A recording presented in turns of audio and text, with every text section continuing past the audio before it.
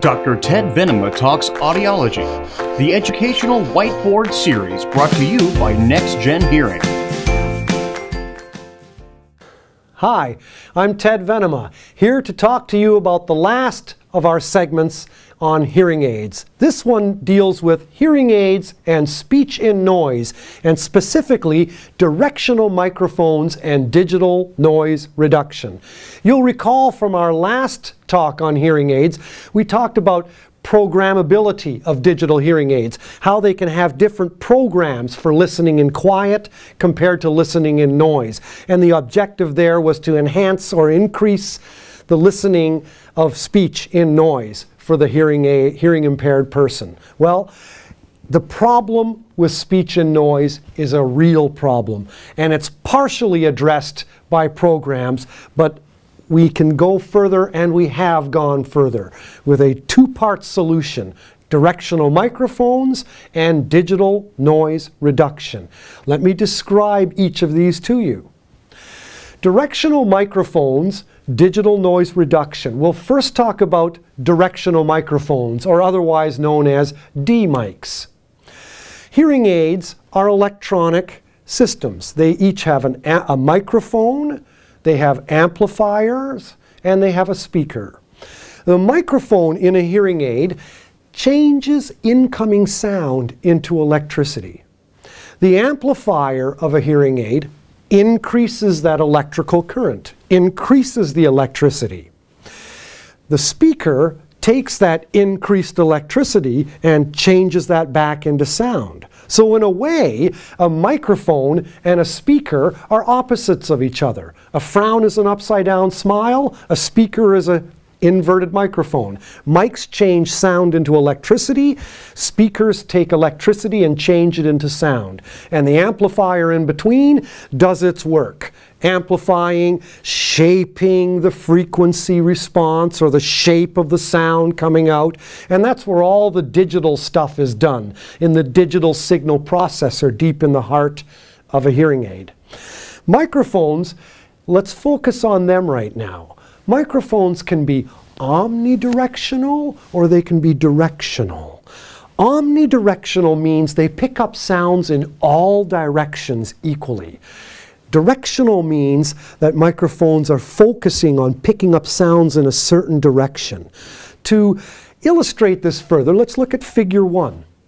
Figure one shows you sensitivity patterns of different kinds of microphones, omnidirectional and directional. Omni means all around. Omnidirectional means a hearing aid, uh, the microphone is sensitive equally to all 360 degrees around the listener's head. And that's shown on the, on the diagram in terms of polar plots.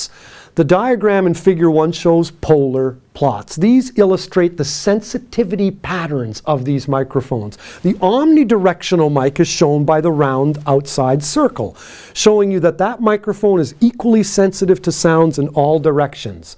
Omnidirectional microphones are great for listening in quiet, but what about if there's background noise? Then you'd want a directional microphone because you'd want the microphone to be most sensitive in the direction of the person you're facing. And that's what the other squiggly lines in that diagram are showing you. They show the polar plots or the sensitivity patterns of various kinds of directional microphones. Interestingly, the one that looks like an upside down heart, it's actually called a cardioid directional microphone, as in cardio, the heart, you know, because its pickup pattern is shaped like a heart needless to say, all those polar plots of directional microphones, you can see in the diagram, they're less sensitive to sounds from the sides and less sensitive to sounds from the rear of the person. You know, you're assuming that the person is facing, the person's nose is on the top of that diagram. You can see that all the microphones are equally sensitive to sounds coming from the front of the listener, but directional microphones are less sensitive to sounds coming from the sides and the rear of the listener. That's polar plots and directional microphones. The nice thing also about today's hearing aids, because they're digital, the hearing aid can automatically switch among these different sensitivity patterns. The hearing aid can sometimes be operating with an omnidirectional microphone, and then when noise comes into the picture, the hearing aid will suddenly make its microphone revert to directional. And you, the listener wearing the hearing aid, you don't have to make any adjustments at all with yourself. The hearing aid's doing it automatically. So it's amazing what today's hearing aids are doing that way. You can also make the speech in noise program have a directional microphone. Remember we talked about programs last time and how the listener can use a remote control to switch or toggle among different programs? Well, the program for listening to speech and noise can be accompanied with a directional microphone, whereas the program used for listening in quiet will revert to an omnidirectional, equally sensitive to all directions microphone. That's directional microphones. Let's look at digital noise reduction. This is something, as Monty Python would say, that's completely different. Direction, digital noise reduction. It is an algorithm built into the digital architecture. An algorithm is just a series of instructions. Let me explain. Noise, the general hubbub and babble of noise, tends to be steady in intensity over time. Think of a fan or an air conditioner or traffic noise out there that's steady or even party background babble. That's why we even use the words babble and hubbub, because the sound is It's fairly steady in intensity over time. Look at figure two. It illustrates this. If you figure two has shows you two different kinds of sounds. One shows that the top bar is showing you sound wave that is steady in intensity over time. This one's showing you a tone like beep but look at the sound wave below.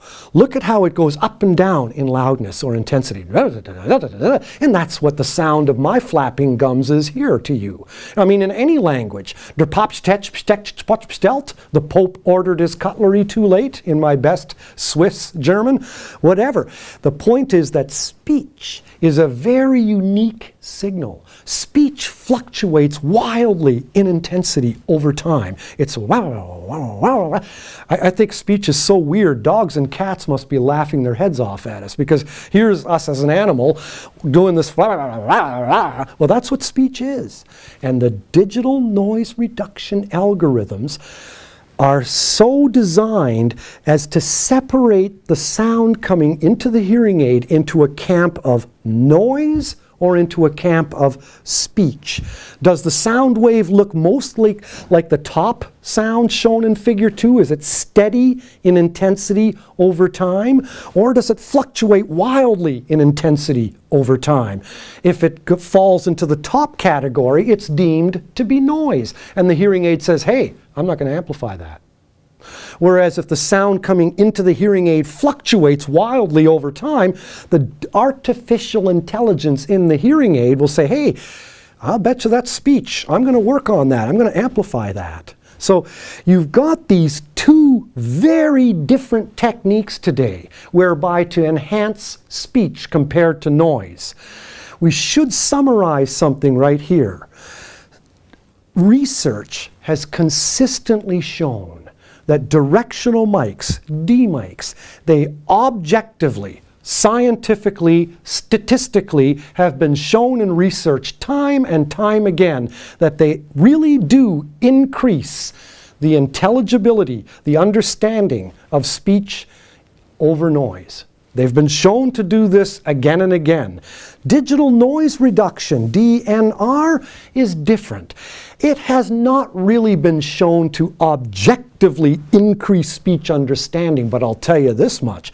It sure subjectively enhances listening comfort in noise. And isn't that a valid concern for someone wearing a hearing aid? Hey, I like to look at D mics as the head, digital noise reduction as the heart. One's the science, one's the art. Together, they make a pretty good team. Do you really want to order one of those online hearing aids now? Look at what we've talked about. Check it out. If you need help hearing, check into hearing aids. Thank you. See you